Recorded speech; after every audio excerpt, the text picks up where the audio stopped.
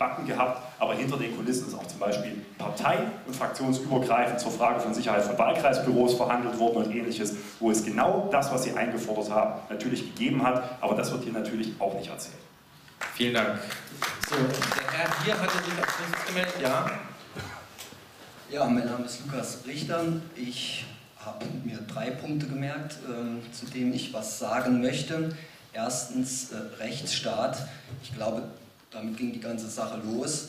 Äh, der Staat hat selbst gegen äh, das eigene Grundgesetz verstoßen, indem er eine Asylpolitik betrieben hat, die für das Grundgesetz, Paragraph 16a Absatz 2, anders festgelegt ist. Da also von staatlicher Seite. Äh, zweitens, ich gehe regelmäßig zur Ligida. Ich halte mich nicht für einen Rassisten. Lesen Sie sich die Dresdner äh, Thesen durch. Da stehen Programmpunkte drin, die größtenteils auch von der AfD vertreten werden, auch äh, von der CSU. Ähm, ich bin von Anfang an dabei gewesen, äh, wurde mit Farbbeuteln beschmissen, wurde bespuckt, wurde mit Urin bespritzt. Bei der ersten Legida-Demo wurde ich blutig geschlagen und damit ging das alles los auch von staatlicher äh, Seite wurde äh, es toleriert, dass gegen die Legida-Demonstration gegendemonstriert wurde, also das Recht auf Versammlungsfreiheit quasi durchbrochen wurde. Das heißt, äh, die Versammlung von Legida wurde gestört und das verstößt gegen das Versammlungsgesetz. Nächstes, ich halte auch nicht jeden linken Politiker für einen Rassisten, nur weil dort jemand mal gesagt hat oder weil das vielleicht immer mal wieder heraustönt, äh, love Volkstod und äh, so weiter. Das ist äh, dezidiert rassistisch. Von Politikern wurde ich auch schon als Ratte bezeichnet, in dem Sinne, dass diejenigen, die Legida veranstalten, Rattenfänger wären, Mischpoke und so weiter. Also das geht auch von Politikerseite aus. So. Ähm, drittens, äh, Medien. Äh, ich, äh, der Herr Wolitz hat gerade gesagt, er weiß nicht so richtig, wie das, oder am Anfang haben Sie gesagt, wie das mit der Gewalt zustande gekommen ist. Die Medien haben dafür gesorgt, allen voran natürlich LVZ und MDR, dass potenzielle Wähler von der AfD, die nach meinem Dafürhalten keine andere politische Forderung stellt als die CDU vor 20, 30 Jahren, dass die als Nazis, Faschisten, Rassisten ähm, bezeichnen. Wo haben wir die so bezeichnet? Das müssten Sie mir also jedenfalls, bitte. Äh, jedenfalls wird das äh, so suggeriert, dass äh, die nicht auf dem Boden der Demokratie stünden. Und das müssten Sie mir bitte mal zeigen.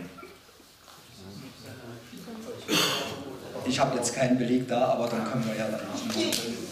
Ähm, jedenfalls äh, wurde äh, die äh, Debatte derart erhitzt von Anfang an, dass, äh, dass dadurch natürlich auch sich ein gewisser Unmut äh, in der Wahrnehmung äh, breit macht und ähm, es gibt Menschen, die äh, können sich nicht anders Ausdruck verschaffen. Okay, vielen Dank erstmal. Die von Ihnen zitierten Thesen hatten wir übrigens seinerzeit äh, in der FVZ abgedruckt. Ähm, Frau Flock wollte sich äußern. Dann geht es hinten weiter. Ich habe mir das hier relativ genau versucht aufzuschreiben, jetzt kommen alle dran, aber das ist tatsächlich die Reihenfolge. Ganz Unheil passiert von erster Demonstration. Wann ich erinnere, dass ich mit Kurt Masur im Gewandhaus Politbüroablösung verlangt und eine Woche später war weg. Und heutige Zeit, erste Demonstration gegen erste Demonstration hat Gegendemonstration gemacht Jung. Und das war größter Fehler. Und dann nicht nur Gegendemonstration, noch dazu Polizeieinsatz. Wissen Sie, was kostet dieser Polizeieinsatz? Über 30 oder 40 Millionen. Das konnte man für die Ligida-Leute, für die jungen Menschen geben. Da konnte etwas ändern. Also, äh, das ähm, Unheil, angefangen von Jung, der dachte nicht gegen Demonstration. Ich muss dort reden, wo ich bin. Die haben zuerst Augustusplatz dann haben sie geschmissen äh, Richard Wagner, dann wieder irgendwo, dann wieder immer Einsatz. Einsatz muss nicht sein. Einsatz, wo, wo, gibt es? Das ist doch einfache Menschen. Lassen Sie die Leute reden. Lassen Sie die Leute, Sie müssen zuhören, nicht Einsatzpolizei machen. Das ist Menschen, das ist unsere Jugend, Zukunft und, und so weiter. Dankeschön. Danke, Frau Flock. So, ich habe jetzt, genau, da hinten den Herrn, der war als nächstes dran. Und danach äh, der hier vorne und dann Sie. Und dann geht's weiter. Ich bin Klaus Obanski und bin Rentner und äh, stelle meinen Maul zur Schau. Hoffentlich hört jemand zu.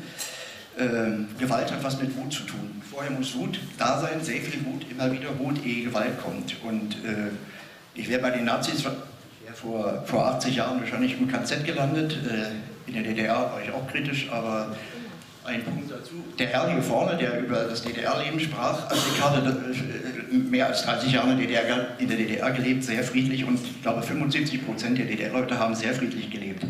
Ich darf das heute zum ersten Mal sagen, sonst bekomme ich kein Mikrofon, um der Jugend zu sagen, lasst euch nicht ständig manipulieren von den Medien und von diesem Staat, dass die DDR ein Verbrecherregime war.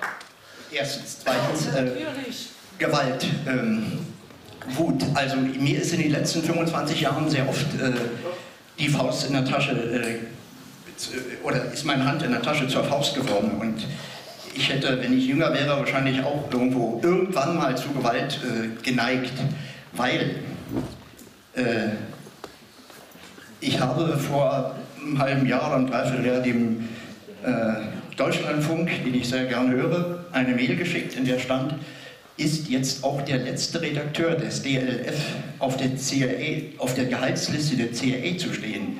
Ich habe natürlich nie eine Antwort bekommen. Wut wird erzeugt in diesem Land äh, durch zum Beispiel die devote Haltung dieses Staates gegenüber den USA.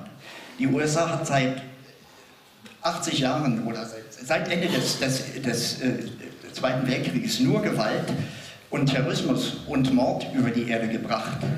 Ich denke an den Vietnamkrieg, ich denke an die letzten Kriege äh, in, im arabischen Raum. So, woher, also hier wird nur über Symptome geredet, ich bin gleich fertig, über Symptome, nicht über die Ursachen. Die Wut, ob das Pegida ist, ob das äh, linke äh, Radikale die Wut kriegen, zu denen ich eher neigen würde. Mir wird ständig erzählt, ich habe eine Wertegemeinschaft mit der USA. Und Herr Obama lässt täglich Leute äh, ermorden und äh, in den in den Gefängnissen der USA äh, im Nahen Osten wird äh, gefoltert hoch drei. Äh, da erzeugt in mir Wut und niemand kann, ich kann das nur so sagen und niemand redet darüber. Es wird alles totgeschwiegen. Es wird vom Staat hier, von den Medien bewusst totgeschwiegen. Ich habe selber mal bei den Medien gearbeitet, ich weiß, wie es funktioniert. Es ist in der Exekutive einfach so und das macht die Leute wütend. Ob die dann mal später zu Pegida gehen, ich weiß genau, die Flüchtlinge sind durch die USA, durch den durch, den, äh, durch die Politik des Regimewechsels entstanden, aus kolonialen Gründen, aus neokolonialen Gründen. Furchtbar, furchtbar, furchtbar. Nie wird ein Wort darüber gesagt. Und wenn jemand mal das Glück hat, in die Medien wie Herr Totenhöfer oder Herr Marz dazu Stellung zu nehmen und zu sagen, Leute, fragt doch, äh, warum ist Russland jetzt so? Das ist nicht Russland schuld, das ist die Schuld der USA. Der Ukraine-Konflikt hat die USA lanciert. Dann kommt der nie wieder an, das darf der einmal sagen und weg ist er. Okay. Das solltet ihr Politiker euch mal äh, anhören. Vielen Dank, das war jetzt ein sehr weiter Bogen, den wir angeschlagen haben, aber okay. Die Dame da hinten hat sich als nächstes gemeldet, die war, hat sich schon sehr lange gemeldet, bitte. Wir haben Besatzungsmacht. Osten und Westen. Entschuldigung, dürfen Sie? Bitte. Also ich hätte erstmal eine Anmerkung zu diesem Mistforken-Vergleich. Ich weiß nicht, ob man das wirklich machen muss, irgendwie künstlerische Aussagen mit politischen Aussagen in einen Topf zu packen. Das kann man machen, das muss man nicht machen. Das ist jetzt erstmal irgendwie, ich wage es, darf ich mal kurz ausreden? Danke. Ähm, das ist halt irgendwie so eine Sache, Bitte, es dürfen alle ausreden, ja. über nachdenken würde, wie sehr das nötig ist. Ähm, und die zweite Sache ist, wir reden hier über Gewalt und ähm, ich finde, welche Gewalt irgendwie gerade ein bisschen zu wenig zur Sprache kommt, ist über 1000 Angriffe auf Flüchtlingsheime. Ähm, irgendwie, ja, es ist irgendwie bestimmt verwerflich, wenn Wahlkampfbüros irgendwie ähm, angegriffen werden oder wenn Gewalt auf Demonstrationen austaucht. Aber das ist vermutlich das allergrößte Problem, was ich gerade in dieser Gewaltspirale sehe, ist, dass es einfach einen ungehemmten Hass auf ähm, Menschen gibt, die in dieses Land kommen, weil sie gar nicht anders können. Und nicht, weil das Wetter hier so schön ist oder weil die Sozialleistungen so gut sind, sondern weil sie vor Krieg und Terror fliehen. Und diese Menschen anzugreifen, das halte ich für extrem verwerflich. Okay, vielen Dank. Ähm, eine, ganz kurze Anmerkung dazu. Ich weiß, was Sie meinen. Ich glaube, ähm, die äh, Verurteilung dieser Gewalt, die Sie gerade ansprechen, ist äh, die eint hier hoffentlich alle. Ähm, aber das Thema hier heute ist Gewalt in Leipzig konkret. Und hier, ja gut, Gewalt auf äh, Übergriffe auf Flüchtlingsheime in Leipzig sind mir jetzt nicht in dem Maße bekannt, zumindest wie im Rest des Landes. Also gab es sicherlich, ja, aber ich glaube, es ist, äh, in Leipzig haben wir ein anderes Problem, über das wir hier äh, heute reden wollen. Deshalb vielleicht ein bisschen diese Schwerpunktsetzung zur Erklärung. So, jetzt muss ich erstmal gucken. Ähm, so, der Herr hier vorne war als nächstes dran, bitte.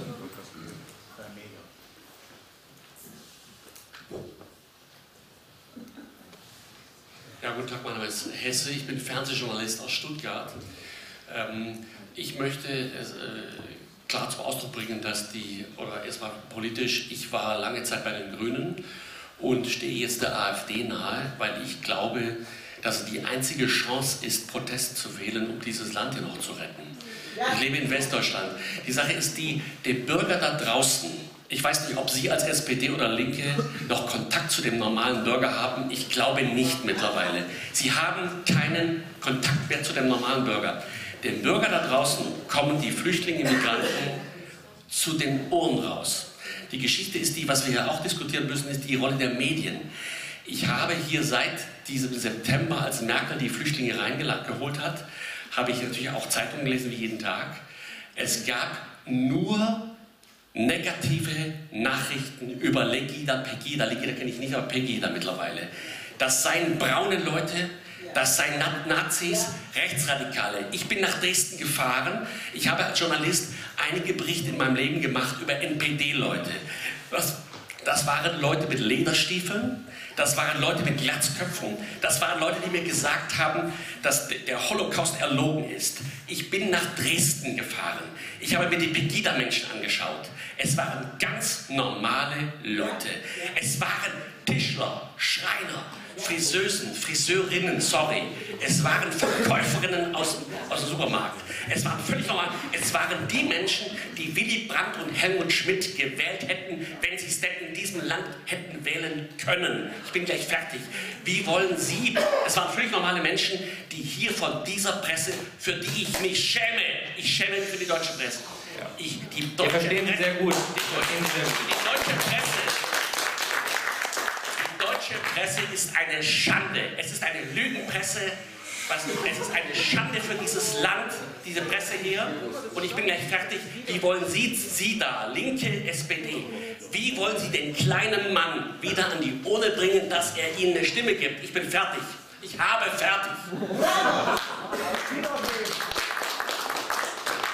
Vielen Dank äh, für den Beitrag. Ich würde jetzt äh, zunächst mal an Herrn Lippmann übergeben, äh, den Dresdner hier in der Runde, der vielleicht auch eine andere Beobachtung hat äh, zum Thema Pegida als, äh, als Sie möglicherweise.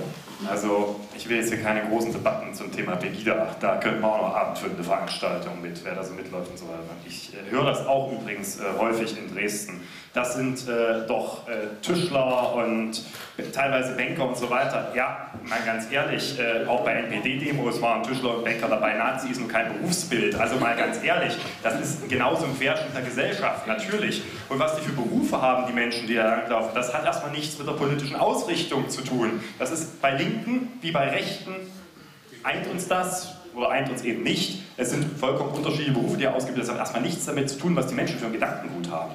Und das, was Sie gerade beschrieben haben über Nazis, da sage ich mal ganz deutlich, das ist ein Bild, wie Rechte aussehen, was Sie in den frühen 90er Jahren vielleicht noch in den Medien gesehen haben. Heute tritt der Neonazi halt nicht mehr in Springerstiefeln und Bomberjacke auf. Das sollte, glaube ich, die Erkenntnis der letzten Jahre deutlich sein, dass Neonazis in Nadelstreifen keine Seltenheit mehr sind und die neue Rechte ganz andere Agitationsformen nutzt, die das Ziel aber eint. Und jetzt nochmal zum Thema Medienrezeption von Pegida. Also als jemand, der in dieser Stadt lebt, aufgewachsen und geboren ist, ich erlebe die Medienrezeption zu Pegida anders, als Sie das gerade tun. Es gab durchaus sehr, sehr differenzierte Artikel und für manche Artikel auch in der Dresdner Lokalpresse habe ich wiederum eher so mit äh, einer gewissen Naserümpfen quittiert, wie dort manches auch schön geredet wurde, was bei Pegida passiert. Es war ein sehr differenziertes Bild. Ich sage es auch ganz deutlich. Die Stadt rechten, jetzt reden Sie schon eine halbe Stunde oder Nee, eine halbe Stunde redet er noch nicht.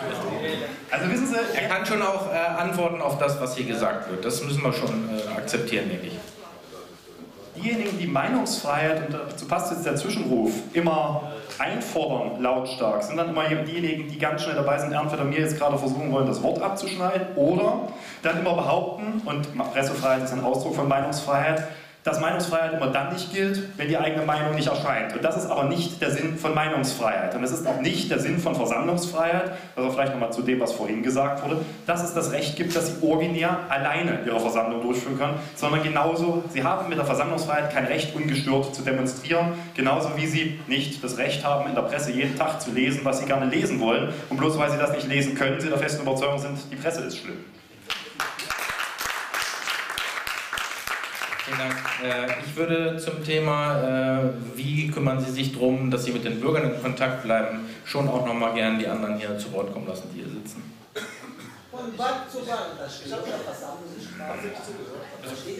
Nee, das die, die, die, rechtliche Auslegung der Störung einer Versammlung ist aber nicht so ganz einfach. Ja, und das wurde sogar mit von der Polizei gesteuert, da wurden ja die Gewalttäter mit Also nochmal in aller Deutlichkeit in Bezug auf die erste Legida-Demonstration in Leipzig durfte Legida demonstrieren, durfte sich versammeln, genauso wie eine Gegendemonstration äh, erlaubt war. Dort haben sich dann mehr Bürger versammelt, das mag Sie nicht zufriedengestellt haben, aber das Demonstrationsrecht ist aus gutem Grunde eines der höchsten Rechte und wird gewährleistet. Und die Polizei hat dort vor allen Dingen eine Aufgabe, nämlich auf Ordnung und Sicherheit zu achten beachten und die beiden Demonstrationen voneinander getrennt zu halten. Das hat sie nach meinem Eindruck Bitte ausreden. Danke. der Rechtsprechung getan. Nächstes Mal kriegen Sie ist gut, ist gut. Das verstehe ich jetzt als zumindest eine gewalttätige Äußerung, muss ich Ihnen sagen, und finde ich keinen Qualitätssprung im Diskurs. Äh, also die Frage, die ich zuletzt behalten habe, war die Frage, wie man Wähler wieder zurück aus, weil die andere Runde hat man schon, wie man im Dialog bleibt. Die SPD ist eine Partei, wie Sie völlig richtig analysiert haben, die in ihrer Tradition und Geschichte aus der Arbeiterschaft kommt. Nun hat sich heutzutage einiges geändert. Zum einen verstehen sich nicht mehr alle als Arbeiter, die da früher wahrscheinlich äh, in den Lohnkammern unterwegs wären. Zum anderen leben wir in einer anderen Gesellschaft und wir können auch nicht mehr alles äh, so organisieren, wie wir es gerne wollten. Aber was die SPD gemacht hat in den letzten Jahren, ist auf Bundesebene den Mindestlohn durchzusetzen. Wir haben uns darum gekümmert, dass wir den gesellschaftlichen Zusammenhalt eher stärken, egal ob das die Systeme der Pflege sind. Sie haben gerade mitbekommen, dass wir darüber reden, Ost- und Westrände anzugleichen. Sie haben bestimmt mitbekommen, dass wir in den letzten Jahren intensiv darüber geredet haben, wie kriegen wir Investitionen, gerade im kommunalen Bereich, im Feld der Daseinsvorsorge. Da können Sie hernehmen, was Sie da wollen, egal ob das Schulen sind, ob das kommunale Einrichtungen sind, wie auch Schwimmbäder und andere Investitionsprogramme. Wir tun einiges dafür, dass wir einen gesellschaftlichen Zusammenhalt erhalten und die SPD-Position war immer, dass Staat ein Stück weit dafür sorgen muss, dass wir Chancengleichheit gewähren oder zumindest näher daran kommen. Das ist eine grundsätzliche Antwort als äh, SPD, wie wir versuchen, Fragen zu beantworten. Ansonsten sage ich immer, wenn Sie das sozusagen der einfache Mann wir sind eine Arbeitnehmerpartei und stärken deswegen auch die Arbeitnehmervertretung. Auch das ist ein Weg, wo die SPD sagt, so wollen wir dazu beitragen, dass alle sowohl am gesellschaftlichen wie am politischen Prozess teilhaben können. Ähm, gestatten Sie mir vorher noch einen Satz oder zwei Sätze, und zwar in einer anderen Richtung. Ähm, die äh, gute Frau ist jetzt rausgegangen, aber ähm, Versammlungen werden von der Polizei geschützt. Das ist ihr Auftrag. Äh, da hören die dann auch manchmal zu, das ist so. Äh, aber äh, das ist ihr Auftrag einfach. Das kann man sich wegwünschen, äh, würde ich aber nicht ganz gern wegwünschen. Erstens. Zweitens, ob die Bundeskanzlerin mit ihrer Entscheidung, jetzt nehme ich mal die Bundeskanzlerin in Schutz, mache ich selten, äh, gegen das Grundgesetz verstoßen hat, Verstöße gegen das Grundgesetz äh, werden im politischen Raum äh, sehr oft kolportiert. Letztendlich, ob es einem gefällt oder nicht, entscheidet darüber ein Verfassungsgericht. Und in dem Fall das Bundesverfassungsgericht. Und das entscheidet manchmal so herum oder so herum. Da ist man, äh, wie das so schön heißt, auf See und vor Gericht in Gottes Hand. Die Frage ist nicht, wie man etwas empfindet, sondern wie am Ende die Rechtsgüter gegeneinander abgewogen werden. Punkt. Und Sie werden entschuldigen, wenn im Artikel 1 unseres Grundgesetzes die Menschenwürde steht, dann ist das, da steht nicht drin die Würde des Deutschen, dann steht drin, die Würde des Menschen ist unantastbar. Dann gilt das für jeden. Das Grundgesetz ist die deutschen Folge. So steht das in der. Ja, dann lesen Sie aber bitte weiter. Im Artikel 1 steht eindeutig, die Würde des Menschen ist unantastbar, nicht des Deutschen. Das ist bewusst von den Müttern und Vätern des Grundgesetzes. Ich hätte nie gedacht, dass ich das Grundgesetz mal verteidige, aber es ist so. Äh, das von den Müttern und Vätern des Grundgesetzes bewusst so gemacht worden und richtigerweise so gemacht worden. Bin sehr froh darüber, weil das nämlich eine zivilisatorische Errungenschaft ist. Und man kann darauf schimpfen, wie man will. Diese zivilisatorische Errungenschaft gilt. Und daran sollten wir uns halten. Sie können noch allgemeiner formulieren, die Menschen sollen sich lieb haben, wir können die Werke... Nein, also, nein, nein, nein, nein, nein, nein, nein, nein, nein, nein, nein. Ich halte das schon für richtig. Und ich sage Ihnen auch weshalb. Ich sage Ihnen auch weshalb. Weil das nämlich ebenfalls die Würde des Geflüchteten einschließt. Und es schließt die Würde des Geflüchteten auch an der Grenze ein. Und wenn jemand auf die Idee kommt, zuvor und dann auch wieder zurückzurudern, meinetwegen, völlig wurscht, aber er hat den Gedanken geäußert, an der Grenze tatsächlich auf Geflüchtete notfalls schießen lassen zu wollen. Moment, Moment, doch. Und wenn dann, Moment, und wenn dann gesagt wird, naja, das steht doch aber so im Gesetz, nee, nee, wissen Sie, was da drin steht? Bei bewaffnetem Grenzübertritt. Bei bewaffnetem Grenzübertritt ist als Ultima Ratio der Gebrauch der Waffe möglich. Nicht, wenn Geflüchtete mit, mit äh, Rucksäcken oder sonst was über die Grenze kommen.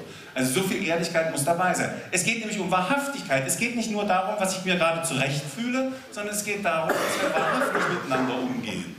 Ihre Wahrhaftigkeit ist immer allgemeiner zu formulieren. Und, okay, also wir wollen jetzt kein Zwiegespräch, damit ich jetzt um Verständnis bin, weil es gab dort hinten noch eine Wortmeldung. Aber eins äh, nicht mehr, okay. Eins, äh, eins möchte ich an der Stelle aber bitte mal noch sagen. Wir um Ehrlichkeit sehen, die Frau Petri, weil Sie es gerade angesprochen haben, ich meine, wenn Sie sie nicht beim Namen genannt haben, die hat nicht gesagt, dass man auf Geflüchtete schießen soll. Ja? So, und als nächstes, wir sind doch ein Rechtsstaat, oder? Sie haben es gerade erklärt, wie wichtig das Grundgesetz ist, und da bin ich total bei Ihnen, dass es eine super Errungenschaft ist. Aber Fakt ist doch eins, die Bundesregierung hat Recht gebrochen. Laut Dublin 3 werden Asylanträge in dem Land gestellt, wo der Asylbewerber das erste Mal europäischen Boden betritt. Und wenn die nicht mit einem Hubschrauber oder mit einem Flugzeug kommen, ist schwierig. Und das nächste wäre das Asylgesetz, da steht eindeutig drin, wer aus einem sicheren Drittland kommt, der kann an der Grenze zurückgeschoben werden. Und da wir von äh, sicheren Drittländern umgeben sind, ist auch das schwierig.